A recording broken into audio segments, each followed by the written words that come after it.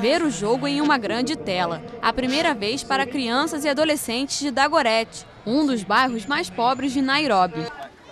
A TV é uma cortesia do programa Africa Go, que viaja pelo leste e sul do continente para levar o futebol às comunidades que não teriam outra chance de ver os jogos.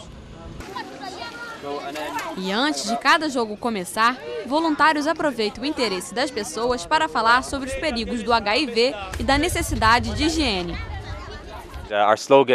A gente diz que a África vence toda vez que se previne o HIV.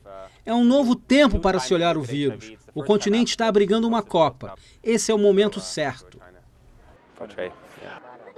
Colocando em jogo como usar uma camisinha antes das partidas, a ONG é capaz ainda de passar a mensagem sobre a contracepção para pessoas de difícil acesso na batalha contra o HIV, os jovens.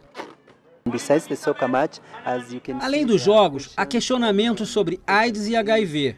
Fazemos apresentações e eles assistem DVDs sobre o tema. Até poemas pessoas criam sobre a doença, assim como escrevem sobre violência doméstica. Em meio à agitação da Copa do Mundo, eles conseguem pensar no futuro.